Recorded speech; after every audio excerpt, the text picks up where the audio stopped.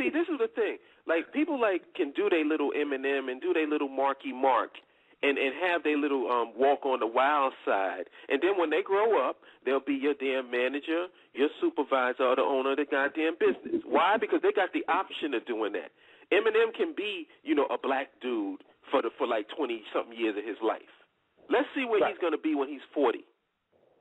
He's gonna be running running a label somewhere, making a, a ten million dollars a year. He gonna be telling you that same white boy that you used to slap five with and, and, and chill with in the cipher is gonna be like, yo, didn't I tell you to have your ass here at nine? Nine o'clock. but you walking in at ten? You you getting docked, nigga.